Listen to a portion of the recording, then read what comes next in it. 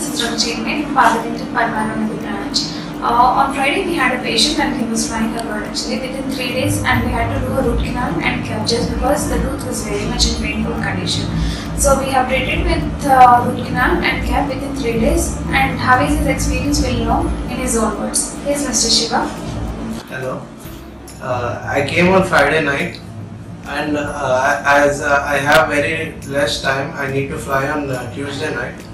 So I uh, I need the treatment to be done in just three days. I have asked them, and uh, they took the responsibility and completed it in uh, the shortest time as possible. Uh, I came on a Friday night, and another sitting was on the Saturday and then uh, my root canal cap has come on Monday uh, this time. The doctors were friendly and everything went good and nothing painful.